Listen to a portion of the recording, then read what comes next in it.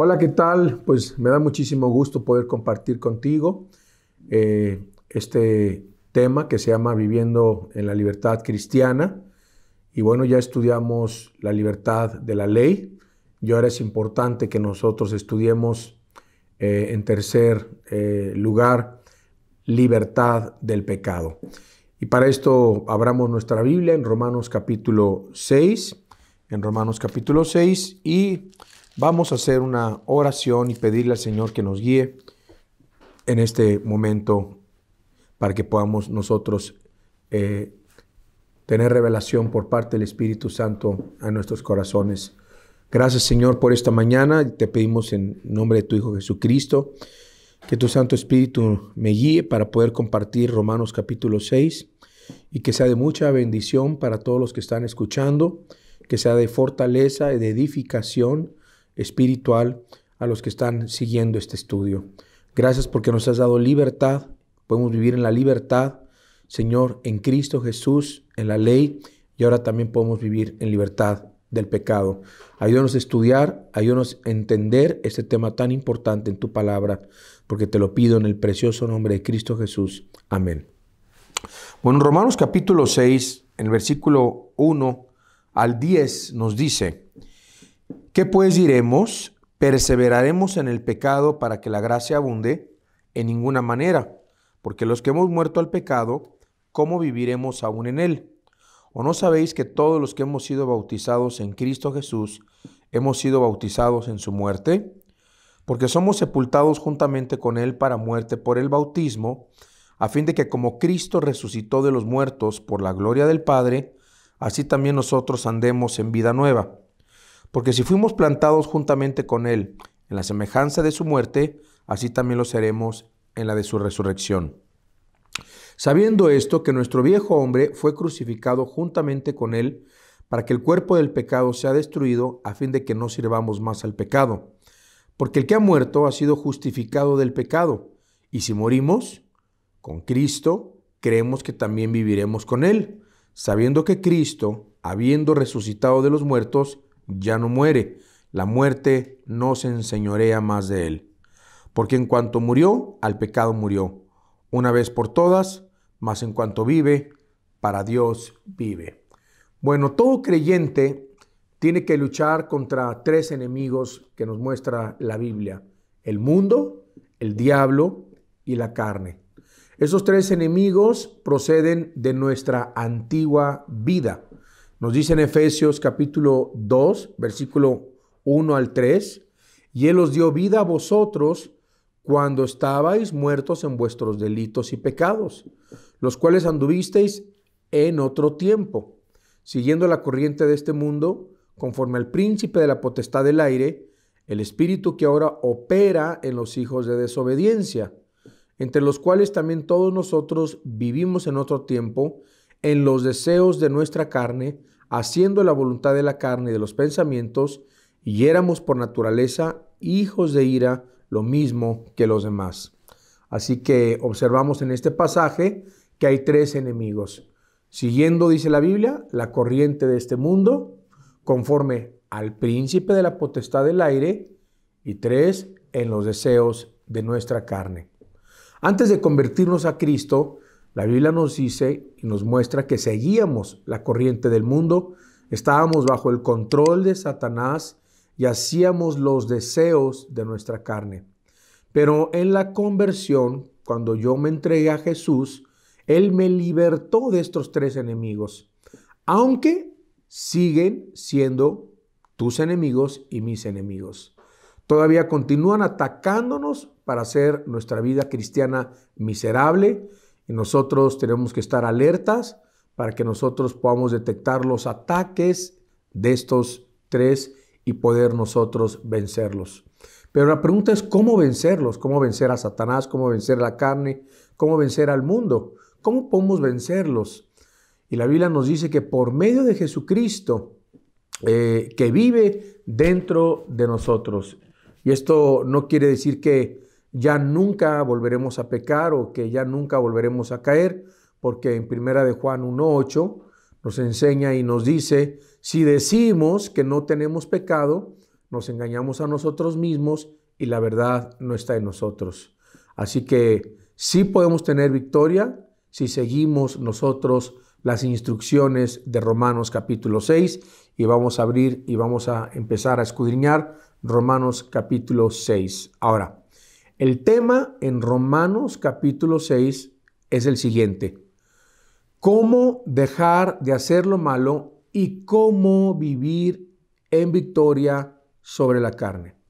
¿Cómo dejar de hacer lo malo y cómo vivir en victoria sobre la carne? Los primeros 10 versículos de Romanos capítulo 6 se nos revela lo que debemos saber, lo que debemos saber. En el versículo 11 de Romanos 6 dice, Romanos 6, 11, así también vosotros consideraos muertos al pecado, pero vivos para Dios en Cristo Jesús, Señor nuestro. En el versículo 11 que acabamos de leer, se nos enseña lo que debemos considerar. Entonces, repito, los primeros 10 versículos se nos enseña lo que debemos de saber. A partir del versículo 11 nos dice lo que debemos considerar. Consideraos que dice muertos al pecado, dice la palabra de Dios, basándonos, basándonos en lo que ya sabíamos. en los versículos del 12 hasta el 23 de Romanos 6 se nos exhorta a presentarnos. Así que los primeros 10 versículos, saber, del, 12, del 11 en adelante, considerar, y del, del 12 al 23, presentarnos. Es una instrucción para la mente, saber, una instrucción para el corazón, considerar, y una instrucción para la voluntad, presentarse. Número uno, vamos a ver lo que debemos saber. Ya lo leímos en los primeros 10 versículos de Romanos capítulo 6. En los primeros tres capítulos de Romanos se nos habla acerca del pecado, llegando a la conclusión de que todo el mundo es culpable y está, eh, es culpable por su pecado delante de Dios. Romanos 3:23 nos dice, eh, muy claramente, la paga del pecado es la muerte, ¿verdad? Y por cuanto todos pecaron, están destituidos de la gloria de Dios. Así que, ¿cuál es la solución? ¿Qué se nos ofrece? La Biblia nos enseña a través del capítulo 3, versículo 24 de Romanos, la obra o la fe en la obra expiatoria de Cristo en la cruz del Calvario. Y nos dice Romanos 3, 24, siendo justificados gratis, gratuitamente por su gracia, mediante la redención que es en Cristo Jesús, a quien Dios puso como propiciación por medio de la fe en su sangre para manifestar su justicia a causa de haber pasado por alto en su paciencia los pecados pasados. Con la mira, dice, de manifestar en este tiempo su justicia, a fin de que Él sea el justo y el que justifica al que es de la fe de Jesús. Considero, hermanos, eh, y fíjese lo que le voy a decir, que el versículo 23, 24, 25 y 26 de Romanos 3 es de los más importantes versículos en toda la Biblia. Toda la Biblia es importante, por supuesto, es inspirada por Dios, útil para enseñar, para redarguir, para este, instruir en justicia, a fin de que el hombre de Dios se ha preparado, dice la palabra en 2 Timoteo 3:16, para toda buena obra, ¿verdad? Pero este versículo nos habla de cómo Jesucristo se convierte en la propiciación, en, nuestro lugar, derrama su sangre, por la sangre, para manifestar su justicia. Así que vamos a lo que dice el capítulo 4 también, que nos habla de esto de Romanos 4, versículo 11, que nos dice, y dice, y recibió la circuncisión como señal, como sello de la justicia de la fe que, estuvo estando aún incircunciso, para que fuese padre de todos los creyentes no circuncidados, a fin de que también a, ellos la fe les sea contada por justicia. La fe les sea contada por justicia. Y padre de la circuncisión, para los que no solamente son de la circuncisión, sino que también siguen las pisadas de la fe que tuvo nuestro padre Abraham antes de ser circuncidado. Veamos lo que dice Romanos 5.1. Justificados pues, ¿por qué? Justificados es la doctrina de la justificación, y esta es una doctrina muy importante, amados, y la deben de entender. Es una de las doctrinas más importantes que ustedes deben de saber. La justificación en la Biblia se refiere al acto de que Dios nos declara y nos hace justos al recibir a Cristo en nuestro corazón, como si nunca antes nosotros hubiésemos pecado. Nos declara justos. El juez del universo nos declara justos por la obra de Cristo, nuestro abogado, nuestro Señor, nuestro Salvador, por su obra en la cruz del Calvario, nos declara justos como si nunca antes hubiéramos pecado. O sea, que mis pecados pasados, Dios ya no los recuerda. ¿Por qué? Porque son pasados, porque Cristo ya murió por esos pecados. Entonces dice Romanos 5.1, justificados pues por la fe, tenemos paz para con Dios eh, por medio de nuestro Señor Jesucristo. Así que vemos nosotros estos interesantes y hermosos versículos. El capítulo 4 de Romanos demuestra y nos habla de, del patriarca Abraham y nos dice, se salvó por la fe. El capítulo 5 retrocede a Adán. Eh, acuérdense que el 3, capítulo 3 nos habla del pecado, el 4 nos habla del patriarca Abraham, el capítulo 5 nos habla y retrocede a Adán y enseña que debido a su caída, toda la raza humana está en pecado. Vean lo que dice Romanos 5.12. Dice, por tanto, como el pecado entró en el mundo por un hombre y por el pecado la muerte, así la muerte pasó a todos los hombres por cuanto todos pecaron. Y para que los que pudieran objetar, ¿verdad? Que no tienen la culpa porque Adán haya pecado, se nos dice en Romanos capítulo 5, versículo 17 también. Pues si por la transgresión de un solo reinó la muerte, de uno solo reinó la muerte, mucho más reinarán en vida por uno solo, Jesucristo, por los que reciben la abundancia de la gracia y el don de la justicia. Versículo 20. Pero la ley se introdujo para que el pecado abundase, mas cuando el pecado abundó, sobreabundó la gracia. Así que tú no tienes la culpa ni yo de que haya pecado Adán. Yo no tengo la culpa de haber nacido con pecado. Pero ¿saben de qué sí tengo la culpa? Y tú también, de no tomarte la medicina para el pecado, que es la sangre que Cristo derramó en la cruz del Calvario. Muchos dirán, es que yo, yo qué culpa tengo. Bueno, tú no tienes la culpa.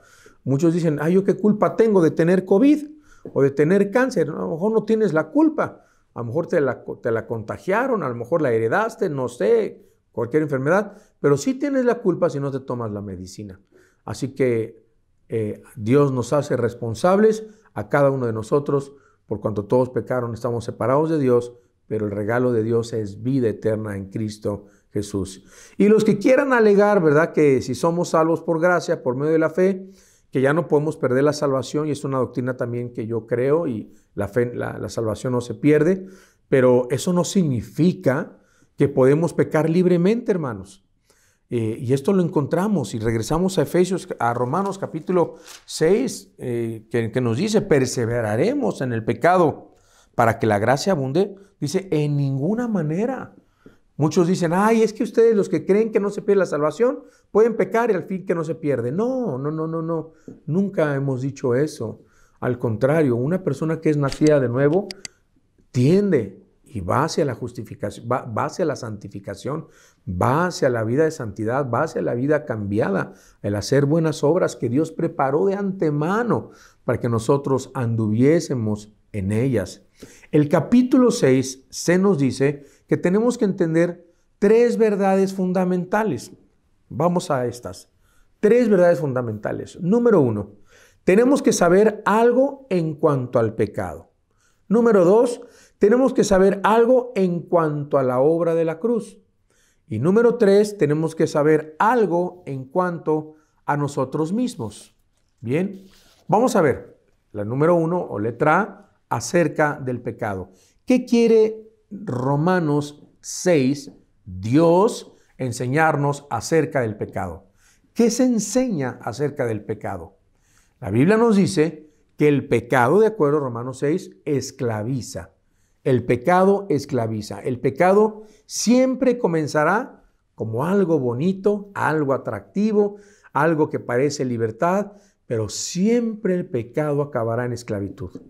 Por eso nos gusta pecar. ¿Por qué? Porque somos carne, porque somos pecadores. Y tenemos nuestra, nuestra, antigua naturaleza. Si no nos gustara pecar, no pecaríamos.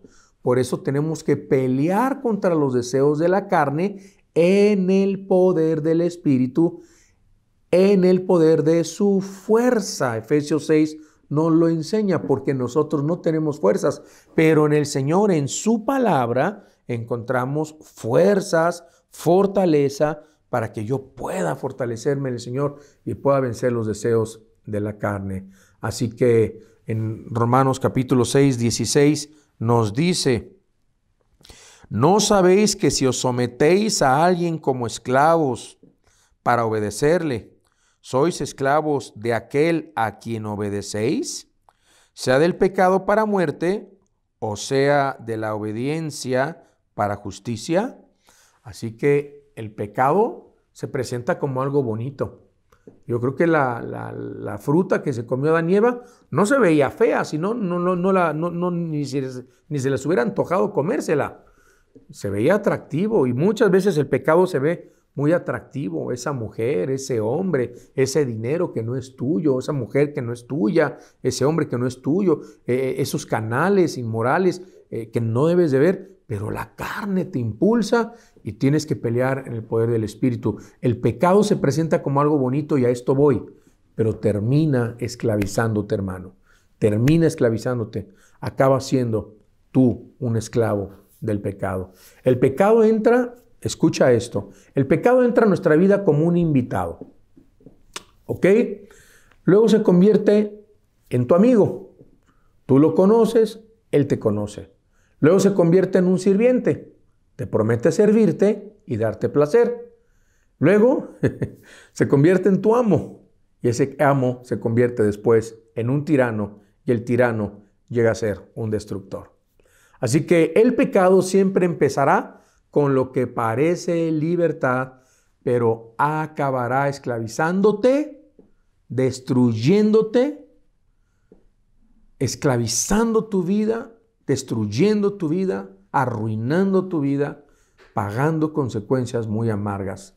Romanos 6:23 nos lo dice, la paga del pecado es la muerte, mas la dádiva, el regalo de Dios es vida eterna en Cristo Jesús, Señor nuestro. Podemos también ver en Proverbios capítulo 1, en el, en el versículo 32, Proverbios 1, 32, que nos dice, porque el desvío de los ignorantes los matará, y la prosperidad de los necios los echará a perder. Mas el que me oyere, dice el versículo 33, habitará confiadamente y vivirá tranquilo, sin temor, sin temor del mal. En Romanos capítulo 8, versículo 36, Romanos 8, 33, 36 nos dice, como está escrito, por causa de ti somos muertos todo el tiempo, somos contados como ovejas de matadero. Así que la mayor parte de las personas que pecan creen que el pecado les está brindando un servicio. Pero qué equivocados están, pues son ellos los que están sirviendo al pecado. Somos nosotros los que servimos al pecado y nos, esclaviza el pecado por causa, dice la Biblia, de que hemos sido justificados del pecado. En el versículo 7, regresamos a Romanos 6, versículo 7, que nos dice, porque el que ha muerto, o sea, en Cristo, eh, conmigo estáis crucificados y ya no vivo yo, más vive Cristo en mí, dice la palabra, porque el que ha muerto, por cierto, eso lo dice Gálatas 2.20, porque el que ha muerto ha sido justificado del pecado. Y si morimos con Cristo, creemos que también viviremos con Él. Bien, entonces, ya no existen cargos o acusaciones de Dios en nuestra contra por causa de la obra que Cristo hizo en la cruz del Calvario. En Juan capítulo 5, versículo 24, nos dice la palabra de Dios, el que oye mi palabra y crea el que me envió, tiene vida eterna y no vendrá condenación porque ha pasado de muerte a vida. Así que, hermanos, regresamos a Efesios 6, que nos dice la palabra de Dios que ya no sirvamos al pecado. Ya, hermano, cambia. Deja de servir al pecado, deja de estar cae y cae y cae en el mismo, mismo, mismo pecado siempre. Dice Romanos 6, 6, eh, dice, sabiendo esto que nuestro viejo hombre fue crucificado juntamente con él para que el cuerpo del pecado sea destruido, a fin de que no sirvamos más al pecado, hermanos. Ya no sirvas al pecado. Ya no caigas, ya no estés cae, cae, cae en pecado. Ya no debes de servir al pecado, dice la palabra de Dios, porque tu viejo hombre fue crucificado juntamente con él para que el cuerpo del pecado, dice la Biblia, sea destruido. Dios quiere destruir a través de su poder, en de su palabra en nosotros, el pecado y crucificarnos con Cristo, ¿verdad? En esa cruz y, y, destruir y no servir más al pecado. También nos dice en el versículo 12 al 13, dice, no reine, Romanos 6, 12, no reine pues el pecado en vuestro cuerpo mortal de modo que lo obedezcáis en sus concupiscencias o en sus bajos deseos, pues. Ni tampoco presentéis vuestros miembros al pecado como instrumentos de iniquidad o de maldad, sino presentaos nosotros mismos a Dios como vivos entre los muertos y vuestros miembros a Dios como instrumentos de justicia. Y esto es lo primero que quiere Dios que sepamos. ¿Qué cosa? Que el pecado es un tirano terrible que anhela dominar nuestra vida si se lo permitimos otra vez.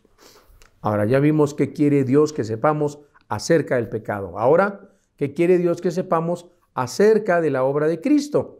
Y esto lo vemos en segundo lugar. Necesitamos saber algo importante acerca de la obra de Cristo que nos enseña del versículo 2 al versículo 10 de Romanos 6, que ya lo leímos, y que hay un contraste que nosotros podemos encontrar si somos cuidadosos y estudiamos bien el libro de los Romanos, que déjame también compartir que el, el libro de Romanos es uno de los pilares principales de la doctrina del cristianismo. Romanos, tú tienes que leer Romanos, estudiar Romanos, todo cristiano debe estudiar el libro de los Romanos. Pero bueno, por ejemplo, hay un contraste entre el énfasis de Romanos 5 y hay un contraste también entre Romanos 6. En Romanos 5, a los que están tomando apuntes, en Romanos 5 se trata de una doctrina que se llama la sustitución. La sustitución. ¿Qué es esto? Que Cristo murió por mí. Esa es la doctrina de la sustitución. En Romanos 6 se habla de la, doctrina de la identificación.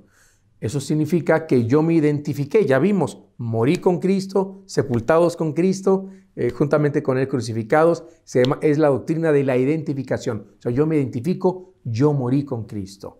En Romanos 5 se nos dice que Jesús murió por el pecado. En Romanos 6 se nos dice que Jesús murió al pecado. ¿Cuál es la diferencia? En Romanos 5 Jesús murió para tratar con la pena del pecado en Romanos 6, Jesús murió para romper el poder del pecado. Ah, ¡Qué hermoso! En Romanos 5, este capítulo trata también de la justificación. Ya lo leí, ya lo, ya, lo platiqué hace ratito, una doctrina muy importante que nos habla de nuestra posición, ¿verdad?, delante de Dios. Y Romanos 6 nos habla de la santificación, otra doctrina, que es nuestra victoria por medio de Cristo en la cruz. Así que cuando alguien este, confía en la obra de Cristo como su Salvador, ¿qué pasa? El Espíritu Santo le bautiza. Ojo, cuando tú te conviertes a Cristo, eres bautizado en el Espíritu. Muchos dicen que si no hablas en lenguas, no has sido bautizado en el Espíritu Santo. Y esta es una herejía, es una barbaridad. ¿Cómo crees? La Biblia no enseña eso. La Biblia nos enseña, y, ahorita vamos a ver en primera de Corintios 12, 13, ahorita lo, lo, voy, a, lo voy a leer, este, y se los va a demostrar con la palabra de Dios, pero cuando alguien confía en la obra de Cristo como su Salvador, el Espíritu Santo le bautiza. Hables en lenguas o no hables en lenguas, eso no tiene nada que ver. Eso es algo que sucede cuando todos nos convertimos a Cristo, somos bautizados. Eso significa amalgamados, hermanos, amalgamados con Cristo, mezclados, fundidos. Eso es, lo que es la, doctrina de la identificación. Eh, estamos, nos identificamos en el cuerpo de Cristo. Somos parte del cuerpo de Cristo. Si tú eres chino, si tú eres venezolano, argentino, colombiano, este, hondureño, peruano, y tienes a Cristo, eres mi hermano, me identifico contigo. Tenemos al mismo Padre, tenemos al mismo Espíritu, somos parte de la misma familia de Dios, tenemos al mismo papá, al Dios de los cielos, al mismo el Salvador. Vean lo que dice 1 Corintios 12, 13. Este versículo, subráyalo, es bien importante. 1 Corintios 12, 13 dice, porque por un solo espíritu fuimos todos bautizados, todos, en un cuerpo, sean judíos o griegos, sean esclavos o libres, sean venezolanos, argentinos, americanos, españoles, a todos se nos dio a beber de un mismo espíritu. Usted y yo tenemos el mismo espíritu. Así que eh, hay unos, que, hay, hay, hay, unos que, que, dicen es que Él tiene más del espíritu, Él tiene menos del espíritu. No, tenemos al Espíritu Santo todos, nada más que hay unos que están más entregados, más consagrados y tienen una relación más íntima con Dios a través de su Santo Espíritu. Todo creyente tiene el don del Espíritu Santo y todo creyente se ha identificado con Cristo en su muerte, sepultura, resurrección y ascensión. Y, ascensión, la ascensión de Cristo. Y esta es la maravillosa revelación de Romanos capítulo 6. Esta es la razón por la cual se expresa estas palabras y nos dice, Romanos 6, 1 y 2, ¿Qué pues diremos? ¿Perseveraremos en el pecado para que la gracia abunde? En ninguna manera. Porque los que, los que hemos muerto al pecado, ¿cómo viviremos, cómo viviremos en, en él? Dice la Biblia, muertos al pecado. Y esto quiere decir que el pecado no está muerto en mí, sino que yo soy el que está muerto al pecado. No lo olvides, el pecado no está muerto en mí, yo estoy muerto al pecado, dice la Biblia.